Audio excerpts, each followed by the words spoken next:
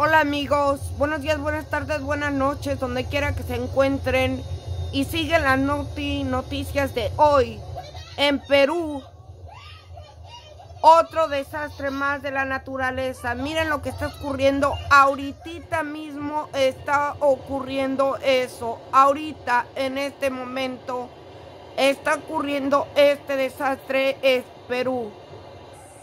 Están rescatando ya algunos cuerpos Noti Noticias, las primeras noticias para ustedes de parte de Noti Noticias hoy. Ahí ven ustedes cómo están rescatando a una persona.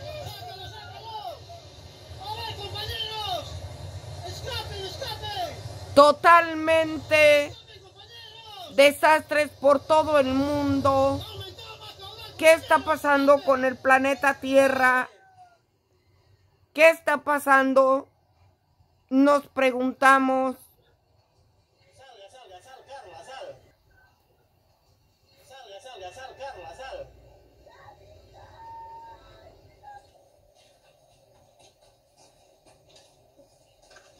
Dolosamente ahí llevan a las personas que han perdido la vida y no se sabe cuántas más haya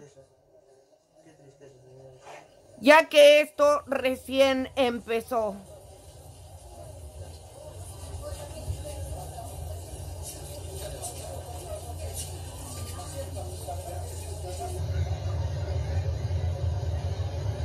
Ahí tienen de nuevo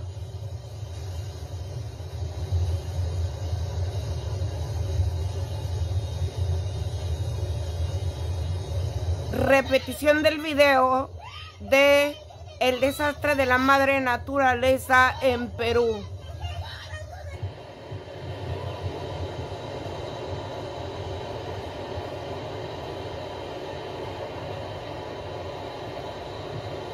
No obstante, con lo que está pasando ahorita en Siria y en Turquía y en Egipto, los terremotos que tumbaron bastantes edificios y cobraron más de tres mil personas muertos. Todavía están luchando por sacarlos debajo de los escombros, heridos o muertos o con vida. La mala noticia es que también, eh, la otra mala noticia es que también está lloviendo en Turquía y hay cables de alta tensión tirados por doquier y eso también hace que corran peligro los rescatistas para tratar de salvarlos, de rescatar a las personas que están bajo los escombros.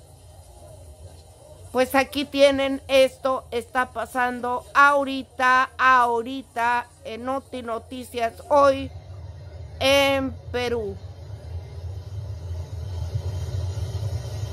Por favor suscríbese y comente en mi canal.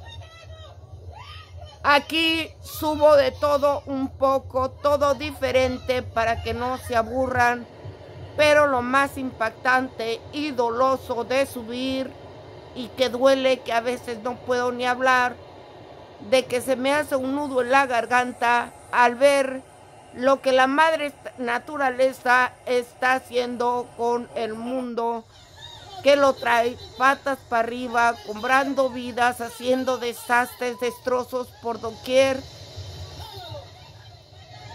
y es por eso que también decidí subir noticias de todo un poco, aunque dolosamente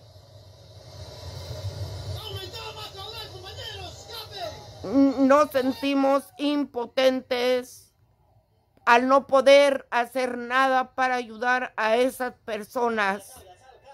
Pero ya se dijo que en Siria y, Turquía van a mandar, ya están mandando otros países rescatistas por, por tierra, por mar y por aire.